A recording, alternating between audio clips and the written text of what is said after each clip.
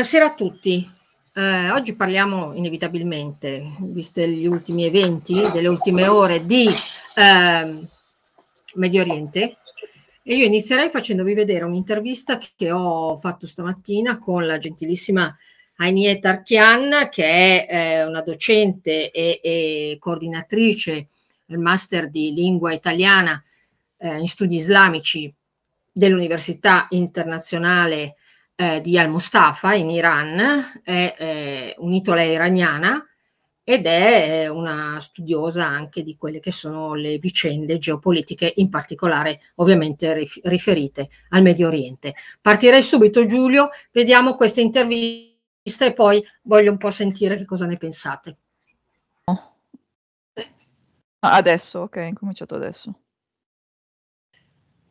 Vediamo, eh? perché ogni tanto io ho, stamattina ho una connessione non perfettissima, quindi speriamo che insomma vada. Adesso è iniziata la registrazione. Vada tutto bene, infatti aspetta un attimo perché non inizia. Avvia ora, perfetto.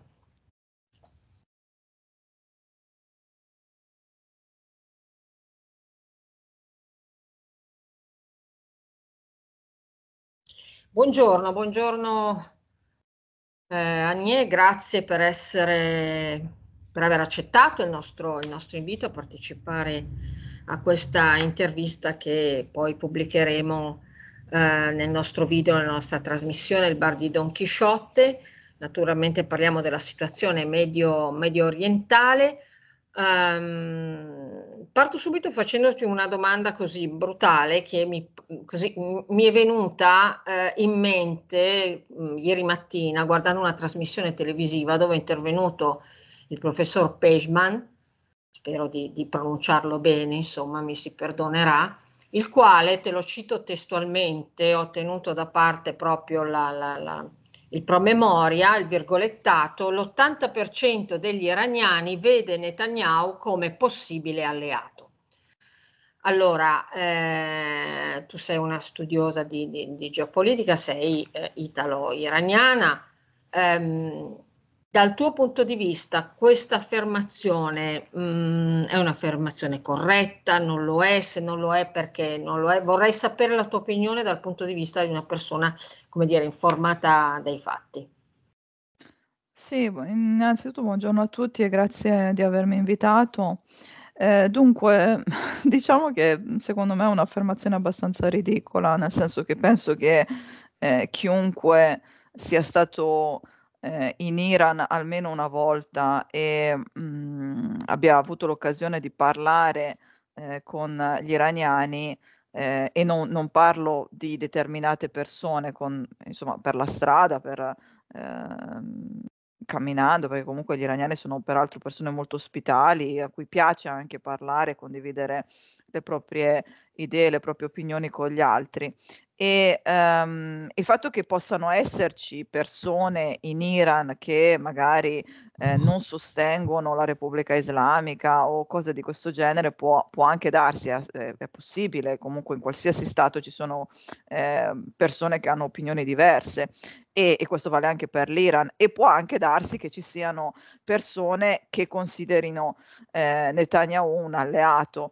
Eh, però eh, affermare che l'80% degli iraniani abbia un'opinione di questo tipo è secondo me un'affermazione eh, alquanto azzardata se non assolutamente ridicola perché eh, chiaramente qua mh, nei telegiornali, nei giornali non vi mostrano le immagini di quelle che sono le manifestazioni che spesso si svolgono in Iran a sostegno della causa palestinese. Eh, e um, peraltro um, cioè, queste manifestazioni eh, ci sono state anche nei giorni scorsi, quindi eh, manifestazioni a sostegno del popolo palestinese che invitavano il, il governo iraniano a compiere questa azione di rappresaglia nei confronti di Israele che era già stata annunciata da tempo. E, um, e, e ieri sera poi anche qua chiaramente queste immagini non vengono mostrate dai telegiornali ira- italiani, eh, ma per chi segue i canali di controinformazione può vedere i video delle persone che scendevano in piazza eh, a, mh, a, Teheran come in altre eh, città iraniane eh, elogiando questa, eh, l'operazione appunto delle forze armate eh, iraniane eh, contro eh, gli ennesimi soprusi di Israele, eh, le ennesime provocazioni di Israele, festeggiando ehm, portando le bandiere sia di Hezbollah che dei Pastaran che la bandiera dell'Iran. Ribadisco, sicuramente ci saranno persone in Iran che potrebbero anche sostenere eh, Israele, ma che siano l'80% è assolutamente un'affermazione eh, ridicola. E, um, e peraltro eh, la stessa comunità ebraica eh, iraniana che è una delle comunità più antiche del Medio Oriente ed è la, la comunità più grande dopo la comunità ebraica presente nella Palestina occupata, che ricordo ha anche rappres- rappresentanti in Parlamento, eh, viene tutelato da un punto di vista eh, delle, ehm, delle, norme dello Stato de- della Repubblica Islamica, eccetera, e anche loro hanno dato il loro sostegno alla causa palestinese. Eh, quindi eh, questa, eh, diciamo questo, questo, sostegno ai palestinesi è condiviso sicuramente dalla maggior parte del popolo iraniano e questo può vederlo chiunque abbia eh, un minimo di, di buon senso e ehm, eh, insomma mh, oltre a seguire quelle che sono le notizie del mainstream cerchi anche di informarsi su, sugli altri eh, canali di informazione che ormai insomma sono disponibili eh, sia su Telegram sia insomma su altre ehm, diciamo ma anche YouTube voglio dire che per chi vuole un'informazione alternativa le possibilità ecco eh, non mancano. E, eh, e, quindi secondo me è un'affermazione, oltre al fatto che io veramente, eh, cioè una persona che dopo tutti questi crimini eh, che sono stati commessi da Israele e in particolare da questo governo di Netanyahu possa affermare di essere un sostenitore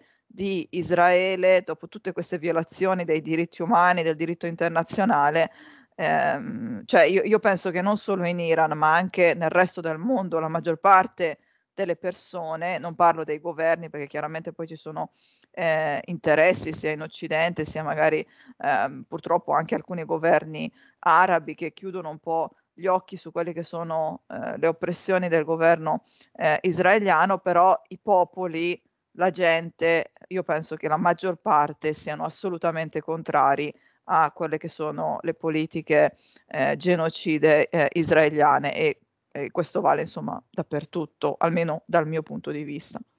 Ma quindi ehm, poi passo diciamo alla seconda domanda che mi, mi, interessa in modo particolare, insomma, le dichiarazioni di Netanyahu e comunque in generale del governo israeliano, da quello che sto seguendo in queste ore, no? questa specie di sorta di appello al popolo iraniano alla liberazione è una provocazione sostanzialmente, è questo secondo te? Cioè come funziona anche diciamo cercando di mantenere una visione no, poli- prettamente politica, che senso può avere un richiamo di questo genere?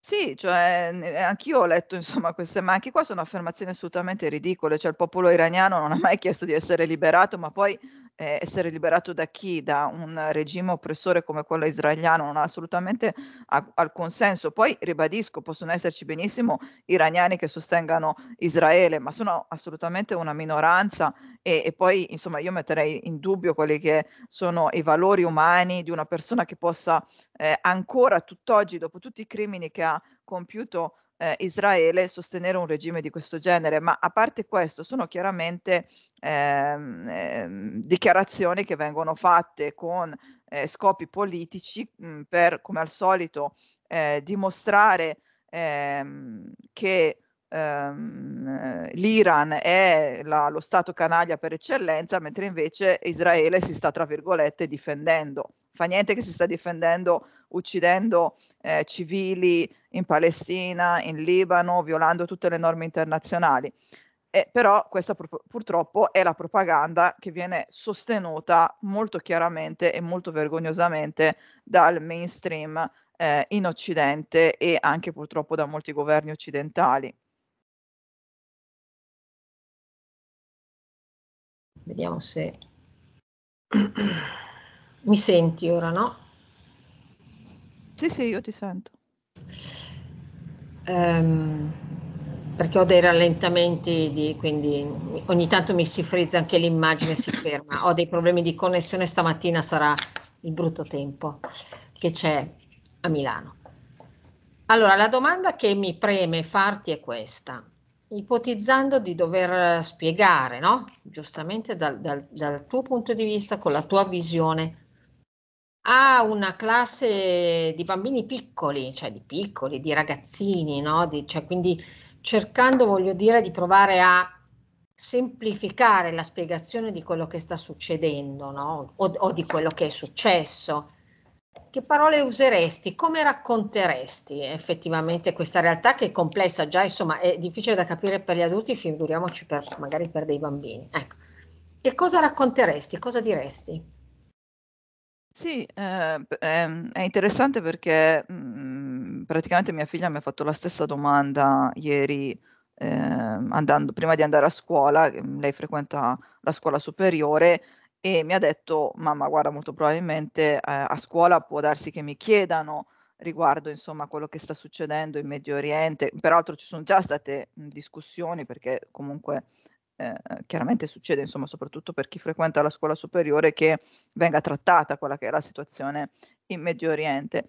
E io le ho detto per quanto riguarda ehm, la questione palestinese, perché comunque quello che è successo, questa ehm, rappresaglia, questo attacco dell'Iran nei confronti di Israele, è comunque una risposta ai soprusi eh, di Israele, non solo nei confronti ehm, dell'Iran, del Libano, ma soprattutto eh, della Palestina. Quindi la questione principale qui non è un conflitto fra Israele e Iran, è la questione palestinese che è una questione che purtroppo è rimasta ancora irrisolta. Quindi io le ho detto, tu potresti fare eh, l'esempio di una persona che viene eh, attaccata in casa sua, nel suo quartiere, si presenta questo gruppo eh, di bulli che vuole eh, occupargli la casa, il quartiere, vuole cacciare la sua famiglia da quella che è la sua abitazione, da quello che è il suo quartiere dove hanno vissuto eh, sia lui che eh, i suoi avi, eccetera. E um, cosa fa questa persona? Cosa faremmo se su- ci succedesse una cosa di questo genere? Um, qualsiasi persona eh, quals- di noi, insomma, eh, molto probabilmente cercheremmo di eh, rivolgerci alle forze dell'ordine, quindi chiameremmo la polizia, i carabinieri per impedire a questi bulli di cacciarci dalla nostra casa. Ora, supponiamo, supponiamo che le forze dell'ordine non rispondano alla nostra chiamata, non facciano niente per impedire a questi bulli di cacciare dalla nos- cacciarci dalle nostre case. Non solo, questi incominciano anche a uccidere i membri della nostra famiglia, incominciano ad uccidere quelli che magari sono, mettiamo, i rappresentanti della nostra comunità nel quartiere, eh, i nostri leader, tra virgolette, e anche in questo caso le forze dell'ordine non fanno nulla. Cosa, cosa farebbe una persona eh, razionale in questa situazione, io non penso che se, se ne starebbe seduta senza fare niente. E la questione palestinese è molto simile a una situazione di questo genere, quindi un gruppo di persone che hanno occupato con una, tutta una serie di strategie la terra dei palestinesi e la comunità internazionale che, tra virgolette, dovrebbe essere eh, o almeno si è fatta carico di mantenere un certo ordine e la giustizia nel mondo eh, non, è, non è stata in grado fin dall'inizio di, ehm, di gestire questa situazione di conflitto questi soprusi israeliani che non sono cose che succedono solo in questi mesi. I palestinesi che va- vengono uccisi, i civili, i bambini, le donne, sono eh, crimini che ormai si ripetono ogni anno, ogni mese, fin da quando, eh, fin da prima in realtà che, eh, lo, che lo Stato di Israele fosse fondato. E, um, e Israele come ehm, e, e, questo può vederlo insomma chiunque, eh, la, la, violazione del diritto internazionale, l'incapacità quindi della comunità internazionale che si è fatta carico di quelli che sono della, della risoluzione dei, dei, conflitti e dei problemi nel mondo, si è eh, rivelata completamente incapace di risolvere la situazione, la questione palestinese, di portare una vera pace in Palestina. Per cui quale altra alternativa ha un popolo, che sia il popolo palestinese, che sia il popolo libanese o che sia la nazione iraniana, se non quella di cercare di opporsi anche purtroppo a volte con azioni eh, militari, perché non c'è altra alternativa. Eh, L'Iran avrebbe dovuto rispondere all'assassinio eh, del leader di Hamas eh, avvenuto eh, da, per mezzo di Israele a Teheran, quindi violazione anche dell'integrità territoriale eh, iraniana, avrebbe dovuto rispondere a questo attentato eh, subito dopo, ma ha aspettato, ha aspettato perché i paesi occidentali avevano promesso un cessate il fuoco, eh, un cessate il fuoco a Gaza, che non è mai successo.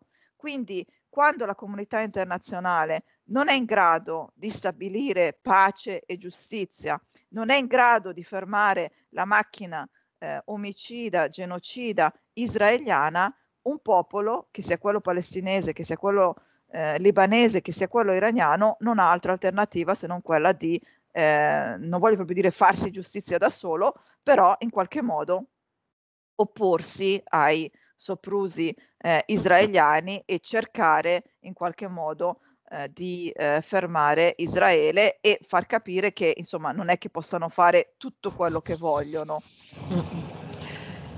Chiudiamo con una nota di positività a questo punto, no? Qual, la, quale sarebbe la soluzione ideale? Come, come la vedi? Quale sarebbe secondo te? Ma semplicemente anche qui quello che è il diritto di ogni popolo. Il diritto di ogni popolo è quello di autodeterminarsi, di poter ehm, avere uno Stato veramente sovrano, di avere il, destin- il diritto di stabilire quello che è il proprio destino. Chiaramente il popolo palestinese non ha questo diritto in questo momento.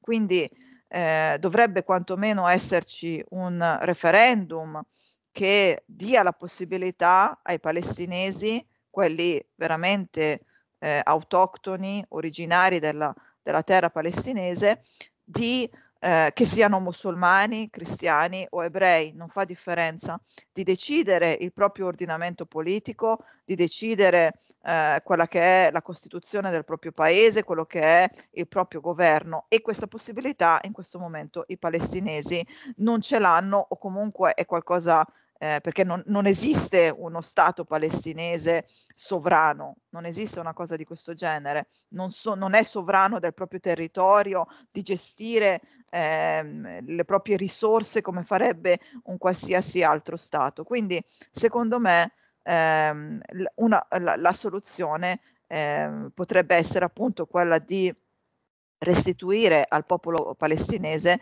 la capacità di eh, autodeterminarsi e di eh, gestire il destino del proprio paese. Io ti ringrazio, è stata una, una, intervista molto molto molto interessante perché come dicevi tu giustamente siamo abituati a sentire sempre diciamo delle narrazioni piuttosto univoche e quindi insomma eh, mi piace sentire le testimonianze delle persone che sono, ripeto, direttamente coinvolte insomma perché questa è una cosa è una cosa che fa del bene all'informazione. Ecco, e certo. poi speriamo tutti, naturalmente, sempre in un epilogo che sia di pace, ecco, onestamente, visto la situazione. Ti ringrazio e vediamoci magari qualche altra volta, insomma, con l'evolversi sì. di questa drammatica situazione. Buona giornata e a presto, grazie mille. Grazie a voi, buona giornata. Eccoci. Allora, abbiamo visto di che cosa si è trattato. Alessandro, cosa ne pensi? Di quello che hai sentito? Sì, e anche in generale, che cosa pensi della situazione? Sì, è un dato di fatto, è una situazione esplosiva. Eh, purtroppo si vede ogni giorno morti, bombardamenti, è chiaro, Anier fa un'analisi che tendenzialmente è condivisibile e lucida. Lì c'è un'entità che Israele, che è comunque un fattore destabilizzante, eh, è una situazione irrisolta dagli anni 40 de, del Novecento e eh, non è la prima volta chiaramente che scoppia qualcosa in quelle zone e eh, il 7 ottobre non viene a caso, no? Tendenzialmente si sente dire in tanti talk show anche nostri il 7 ottobre è un abominio, un gruppo di pazzi, di terroristi che hanno fatto una, una strage. Il 7 ottobre certamente è un dramma, è un dramma però che viene da lontano. E eh, lì la situazione irri- irrisolta è quella di un popolo che non ha un proprio Stato, di un popolo che non ha diritto ad esistere, di un popolo che viene oppresso da decenni. Io credo che la nascita di uno Stato palestinese sia fondamentale e sia quello sia un fattore stabilizzante del Medio Oriente.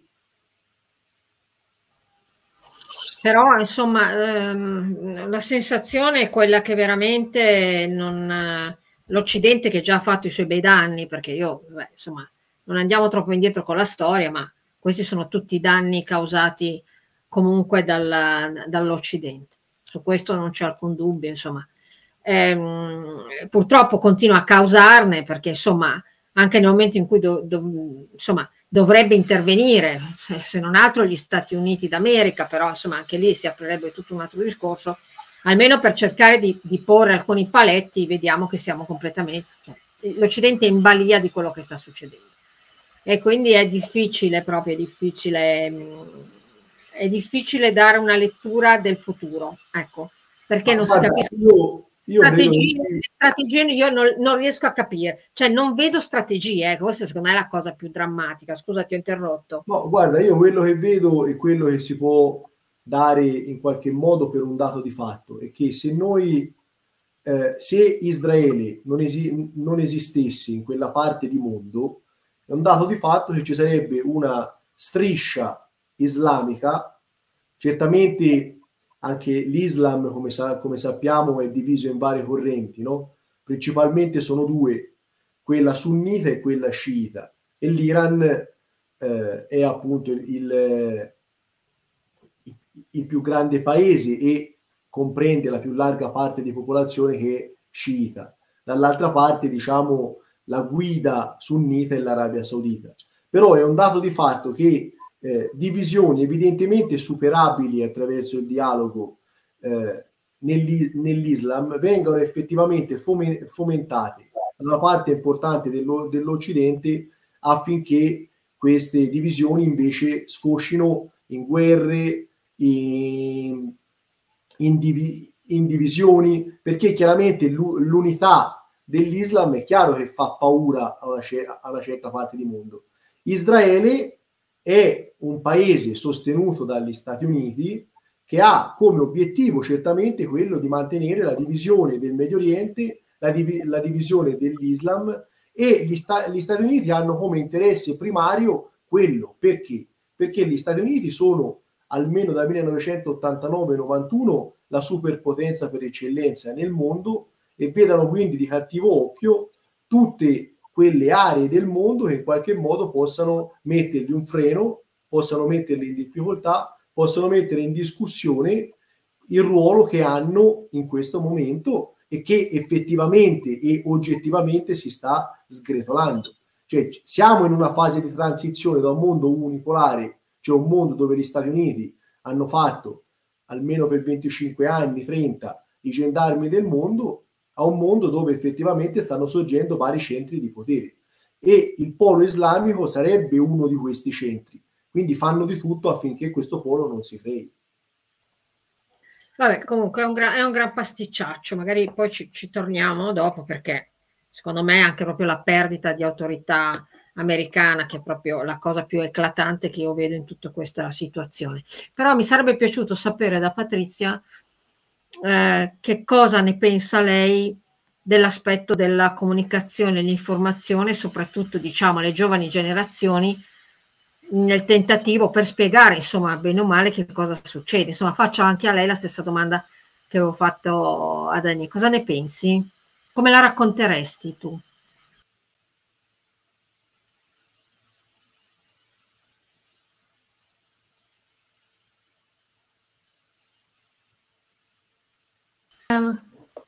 Da questo linguaggio che viene usato anche dal mainstream, che praticamente parla della guerra come se fosse una soluzione che praticamente è necessaria, no? Perché se vuoi esportare la democrazia è necessario colpire quei popoli che la democrazia non ce l'hanno, anche se non viene chiesto, come diceva giustamente nell'intervista. E quindi già partire dal fatto che la guerra non serve a questo, ma serve solamente a uccidere persone innocenti in nome di un, di un potere che in questo caso quello eh, del, di Netanyahu che vuole per forza conquistare i territori palestinesi e allargare quindi il suo dominio su, su, tutto, su tutta quell'area. E quindi mh, com, come fanno? Chiaramente fanno un, disprezzano il nemico, no? Quindi c'è questa despecificazione naturalistica del nemico, no? Il nemico è quello brutto, cattivo, quello, quello che deve essere per forza condannato, ucciso e quindi non ha, è un animale che va per forza condannato e messo in croce, no? perché tanto non ha, non ha valore, perché solamente lui è quello che, è quello che purifica, salva le persone, quindi c'è questa santificazione addirittura dell'operazione militare, no? che è assurda perché nella religione, quindi questo dovremmo poi far capire anche ai giovani, la religione non è una guerra di religioni, ma è una guerra del potere, perché la religione può essere di qualsiasi indirizzo, però Dio è sempre Dio. Quindi non ci deve essere una divisione perché uno è un islamico, l'altro è cristiano, l'altro è ortodosso o è sunnita, quello che tutte le religioni hanno come unico riferimento Dio. E quindi non c'è bisogno di una guerra perché la guerra religiosa non esiste, perché è nello spirito che le persone che devono crescere, non con le armi. Quindi la prima cosa che direi a un ragazzo è state attenti all'informazione che ricevete da questi giornali che ti dicono che questa persona è, è un santo praticamente, no? Infatti ora stanno dicendo che vanno lì e liberano tutti, no? Come si diceva prima. Ed è una cosa assurda completamente, perché io quando anche sono andata in Giordania, sono passata anche in Israele, eh, c'è un muro di divisione, cioè già lì vedi come questo popolo non vuole convivere in pace con quelli che gli stanno intorno, vuole per forza separare, cioè loro sono quelli superiori, quegli altri sono esseri inferiori. Questo non va assolutamente bene, c'erano il filo spinato intorno, cioè io ho visto veramente delle cose terribili, come vengono trattati questi palestinesi. È assurdo, no? Perché poi nei palestinesi, ricordiamoci, sono anche i cristiani. Quindi per loro non vale niente, sono solamente persone da eliminare e quindi i bambini non sono bambini, abbiamo una generazione di un popolo che ormai non esiste più, hanno fatto dei genocidi. Quindi mh, tutto questo porta a questa, nella storia, no? se andiamo nella filosofia, al liberalismo coloniale, di cui poi tutti si sono uh, ammantati per poter fare le stragi che hanno fatto in, nel corso di tutti questi anni. Quindi io partirei da questo, dal linguaggio, di ritornare nuovamente a un linguaggio reale, che la guerra è una guerra e non porta a niente e la pace può essere conquistata solamente con il dialogo quando due parti si mettono con la stessa autorità e non uno è inferiore all'altro e dialogano, con l'aiuto anche di, di terze persone, cioè di, di, mediatori, come dovremmo essere anche noi, che se ci mettiamo eh, questa, questa, diciamo, noi siamo i più bravi, no? L'Europa è quella più brava, è quella che apre a tutti, siamo democratici. Se siamo veramente un'Europa del genere, che ripudiamo la guerra dobbiamo fare da mediatore, non alimentare sempre di più questo genocidio che secondo me porta solamente a cosa? A, a niente, porta solamente alla distruzione dell'essere umano. E quindi se queste sono provocazioni, anche l'Iran è stata, sta, è provocato, come il Libano anche è provocato, per poter scatenare una guerra e dire guarda, sono stati loro che stanno provocando e io mi devo difendere, quindi li devo eliminare. Ecco, questo secondo me no, certo. va eh, chiarito perché anche il mio nipote piccolo ho cercato anche di dirgli queste cose perché anche lui era convinto che i cattivi erano da una parte sola, insomma, eh, esatto, deve cercare no. di capire che non è proprio così. No, direi decisamente. Non so se ho risposto alla tua no, domanda. No, hai risposto, no, no, hai risposto perfettamente. Tra l'altro, un'altra delle, degli scamotage del linguaggio è stato usato proprio in queste ore, no? Non so se avete notato, hanno lanciato, credo, qualcosa come 100 missili, no? Dall'Iran nella direzione, anche Alessandro eh, confermami se è vero, e la prima reazione comunicativa è stato quello di, come dire, prendere in giro questo lancio, no? Cioè, avete visto che hanno lanciato, ma alla fine non ci hanno fatto niente, vedete che non sono neanche capaci, no? Era partita un po' questa, era partita questa storia, poi leggevo che invece oggi c'è stata una missione che invece, insomma, certi missili hanno fatto male come se hanno fatto male e poi non sono riusciti neanche a creare questo eh, famoso di protezione. Quindi anche il eh, sarcasmo, ecco, la, sminuire non fa altro che secondo me a questo punto aizzare ulteriormente gli animi. Grazie Patrizia. Io però volevo chiedere a proposito di indipendenza a Tiziano che cosa ne pensa del fatto che si voglia pensare di creare eh, una realtà diciamo un po', mh, mm, un po' una realtà a parte, come può essere stata quella anche, non so, di, di Gaza e comunque del, del territorio di Palestina in generale, ipotizzando che comunque questa realtà non possa essere autonoma neppure dal punto di vista della creazione di moneta. Cioè, la faccio breve, i palestinesi, anche volendo creare uno Stato indipendente, non avevano la possibilità e l'autorizzazione da parte di Israele di creare la propria moneta. Questa è una cosa che Tiziano do la palla a te, ma tu mi capisci che torniamo al discorso, cioè è inutile parlare di pace e di stati separati se poi le condizioni sono queste, no? Cosa ne pensi? Eh, mi dai un assist importante perché io avevo scritto anche proprio sul nostro, come, sul nostro blog di Come Don Chisciotti un articolo con il titolo La sconfitta di Dio, proprio parlando della questione eh, israelo-palestinese per diversi fattori che posso provare a sintetizzare in, in 3-4 punti, eh, per me è diventato assolutamente impossibile pensare di, eh, di eh, intendere un possibile futuro per la Palestina Israele, due, due popoli e due stati. Ormai non è più possibile perché abbiamo visto che con tutte le infiltrazioni dei coloni in Cisgiordania, che è diventata ormai una gruviera, di persone violente, persone eh, terribili. Ho letto cose terribili, da fonti credo anche attendibili perché ho, ho seguito più fonti, tutte indipendenti, perché noi abbiamo un'informazione che è assolutamente azzerata, è una cosa veramente vergognosa.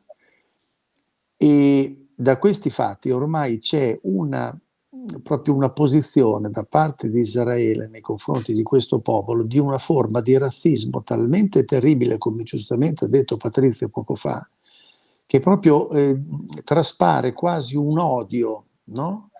eh, addirittura più, più, in più casi, soprattutto anche da affermazioni da parte di ministri e altri, hanno considerato eh, pubblicamente i palestinesi come dei subumani, a livello degli animali. Ora, chi ha avuto, ha vissuto il dramma della Shoah, perché è stato un dramma, anche se non come ce l'hanno raccontato, ma è stato comunque un dramma terrificante, gente che ha provato quella sofferenza, che ha toccato con mano per i, chi i genitori, chi i nonni, eccetera. Oggi arrivare ad essere addirittura a livello dei peggiori nazisti di allora c'è qualcosa che non torna Allora, se mi permetti, mm, sì, concludo dicendo quello che tu hai detto, hai sottolineato una cosa importante, io l'avevo messo anche nell'articolo, perché la moneta che utilizzava la Palestina era la stessa moneta di, di Israele, che era controllata dalla Banca Centrale di Israele.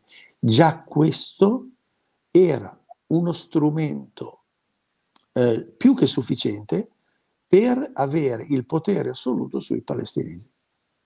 Questo se qualcuno riesce a fare il parallelo con l'Unione Europea, bravo, perché è esattamente così. Noi siamo anche oggi una colonia, non abbiamo più nessun potere di autodeterminarci e dipendiamo interamente da, da, da potenze esterne, potenze esterne al nostro paese e, e anche fuori dal nostro continente, e la cosa che ci rende totalmente vittime è la mancanza di una nostra sovranità di nazione, ma soprattutto sovranitaria, perché è la prima forma di, eh, di, di auto, di, la, la, la, prima necessità, diciamo, il, prima, il primo strumento per poter autodeterminarsi. Mancando quella, manca tutto il resto. E questo era quello che era in Palestina.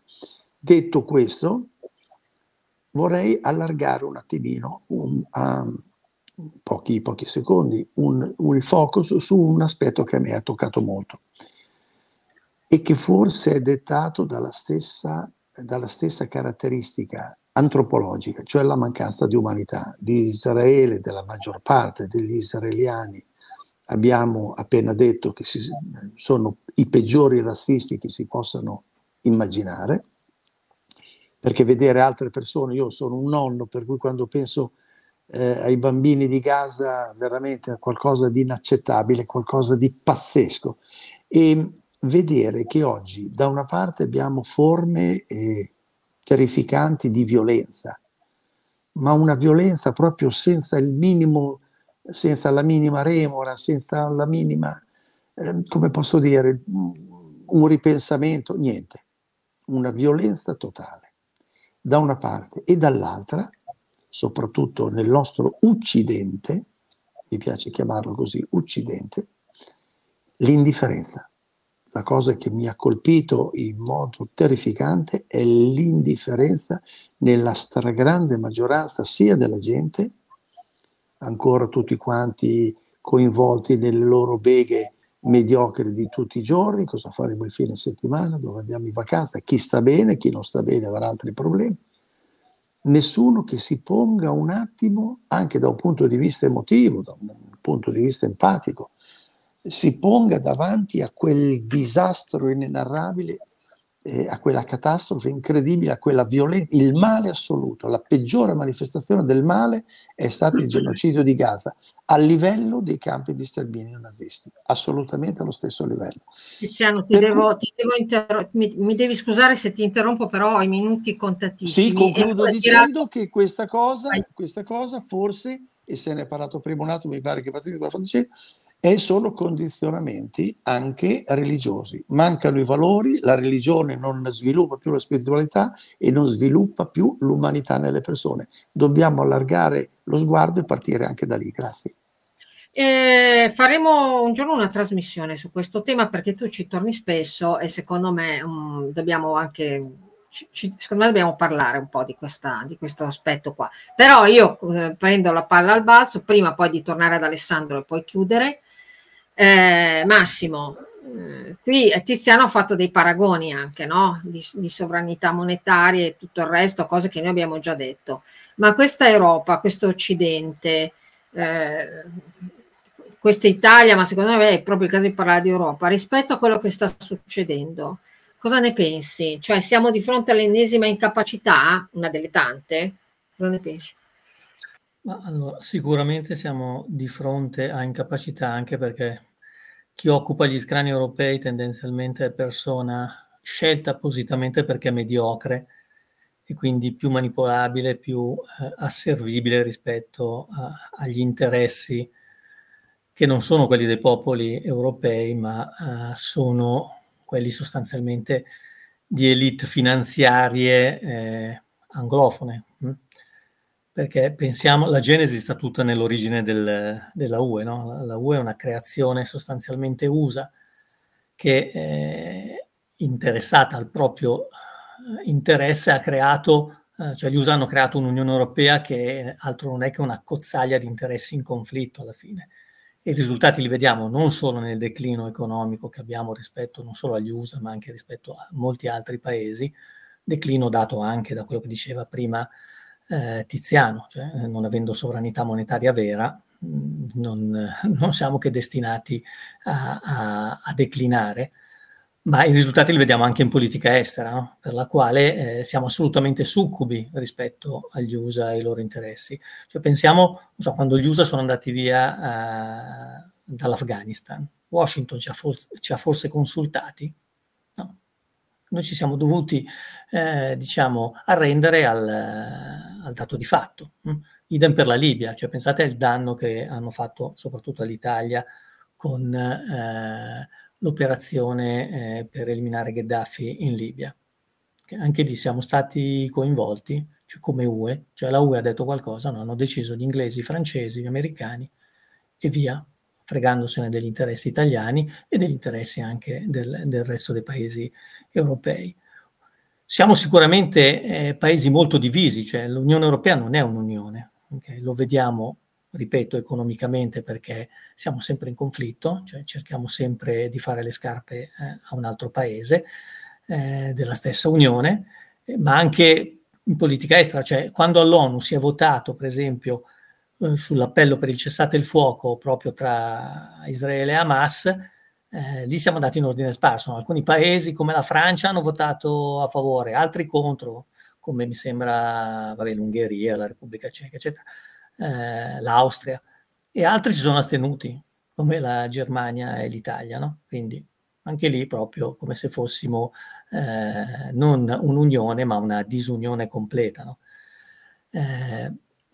Eh, è chiaro poi che questo ci porterà a, a essere sorpassati da, da, tutti gli altri paesi e da anche le altre unioni, tipo i BRICS, no? Cioè i BRICS sono destinati a, a fare un boccone della UE, cioè, anche e soprattutto in, in politica estera.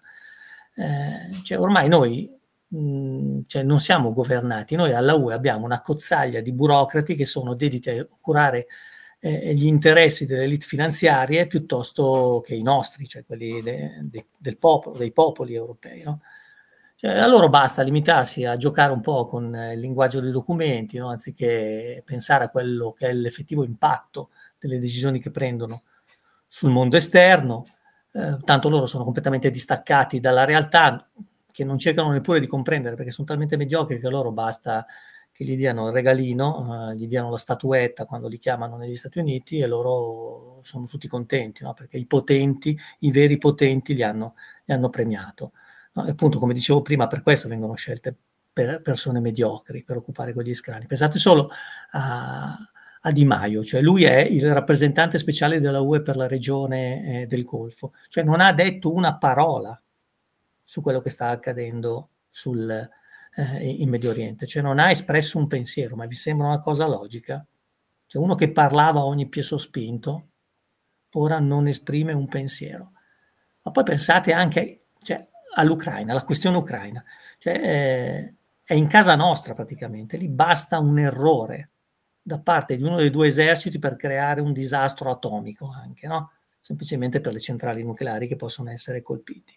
E, e dai giornali vengono considerati, viene considerato un successo dai giornali mainstream questa, questa vicenda, no? perché tutti i paesi, effettivamente tutti i paesi membri, a parte magari l'Ungheria, sono tutti uniti nel supporto eh, e nell'armare l'Ucraina. Ma anche lì non è una, un pensiero, una decisione che hanno preso eh, gli europei. Questa è semplicemente un allinearsi alle, eh, alle idee belliciste anglo-americane.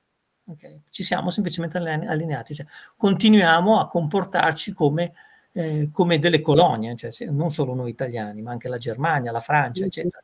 E, e perdiamo quello che era eh, una nostra peculiarità eh, eh, storica anche dei paesi europei, quella di essere mediatori, cioè il Medio Oriente ci riconosceva, soprattutto noi italiani, un ruolo da mediatori sulle loro vicende. Adesso cosa vuoi che... Ma niente, non ci riconoscono più niente, siamo il nulla. Ma figurati, ma Netanyahu è andato, è andato a New York a dire io faccio quello che mi pare, cioè, altro che mediazione italiana qui ci vorrebbe. Eh, no, infatti, no, ma io sono d'accordo. Purtroppo ogni volta le diciamo queste cose, però non possiamo che eh, prendere nota e prendere atto del fatto che è esattamente così. Allora, Alessandro, per chiudere, come va a finire?